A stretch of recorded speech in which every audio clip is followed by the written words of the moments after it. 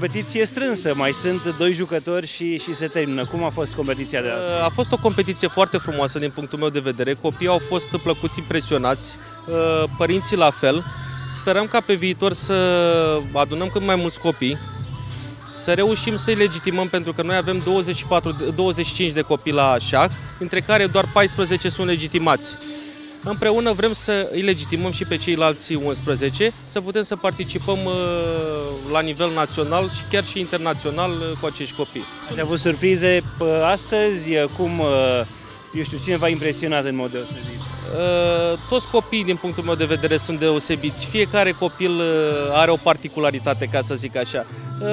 Mi-a plăcut foarte mult că se enervează uneori când nu știu, nu le iese ceva, dar este o competiție și sperăm că na, și lor le place și reușim în continuare să, să-i atragem pe cât posibil.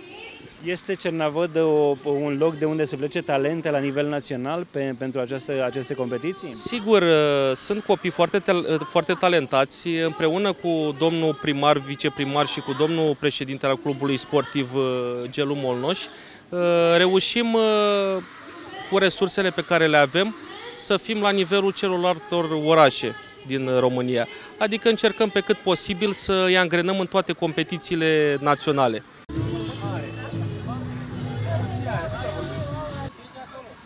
și avantajul vârstei. Dar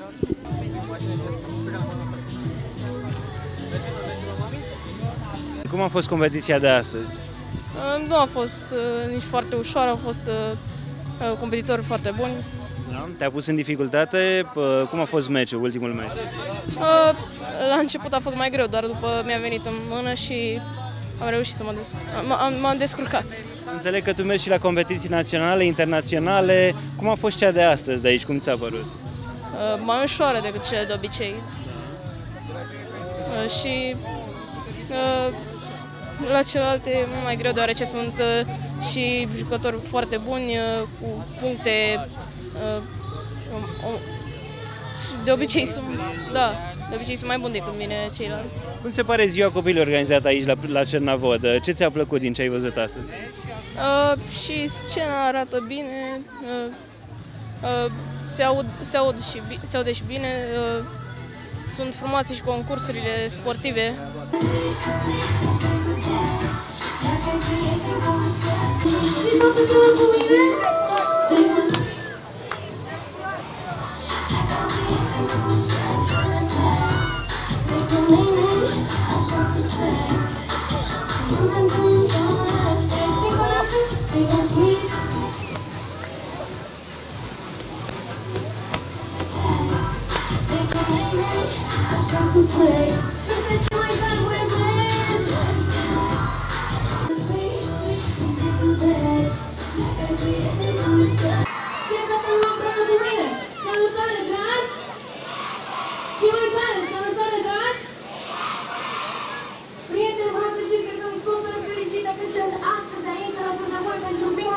Cernavodă, să știți că sunteți super mega tari!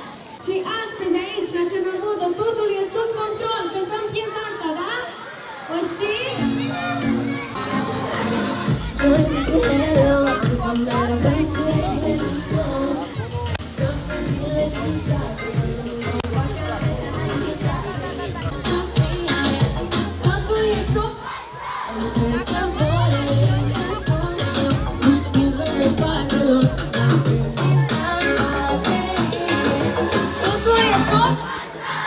Ziua copilului la Cernavodă cu vedete de vârsta lor care, iată, atrag o mulțime de oameni. Uh, ce le-ați pregătit astăzi copiilor? Le-am pregătit uh, niște surprize pe care ei chiar și le-ar fi dorit. Niște uh, artiști, niște programe la care ei chiar ar fi visat în, în ziua de 1 iunie. Ne-a fost destul de greu, dar am reușit să aducem niște artiști foarte importanți cu repertoriu pentru copii, care și ei la rândul lor sunt niște copii, că n-au 18 ani, cum este Iuliana Beregoi, cum este Bibi, Hugo și Pablo și artiști aduși uh, chiar invitați și din Constanța, din țară și chiar și artiștii noștri care sunt locali, care sunt foarte iubiți. Uh, Spectacole, spectacole și concerte live uh, pe durata întregii zile, de 1 iunie, astea le-am pregătit, astea ne-am dorit încă de la 10 jumătate, au avut primul concert cu Bibi. Acum la prânz, iată, cu Iuliana Beregoi, au venit disperați de pe la Olimpiade, de pe la Constanța, de acasă, din vacanțe sau de pe unde, sau chiar și-au amânat vacanțele ca să, să vadă programul pregătit de noi, de, administ de administrație locală, de primăria Cernavodă, Consiliul Local și Casa de, de Cultură.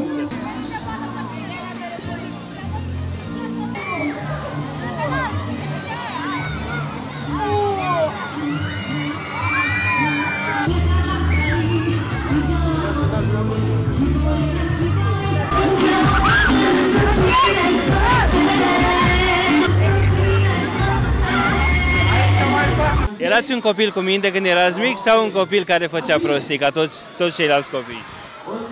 Eram un copil ca toți ceilalți.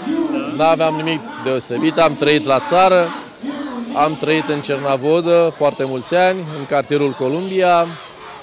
Nu pot să spun că eram un copil obraznic, nici cu minte, eram un copil normal. Pe vremea aceea, Cernavodă nu vedea concerte cu vedete de vârsta lor, nu vedea asemenea spectacole și așa mai departe. Cum s-au simțit astăzi copiii? Cum i-ați văzut pe cei care au venit aici? Și părinții, de ce nu? Eu sunt de dimineață, sincer să fiu, nici eu nu știam uh, despre copiii care astăzi prestează pe scenă, m-am informat, sunt bucuros că am reușit să aducem bucurie copiilor în ziua de astăzi.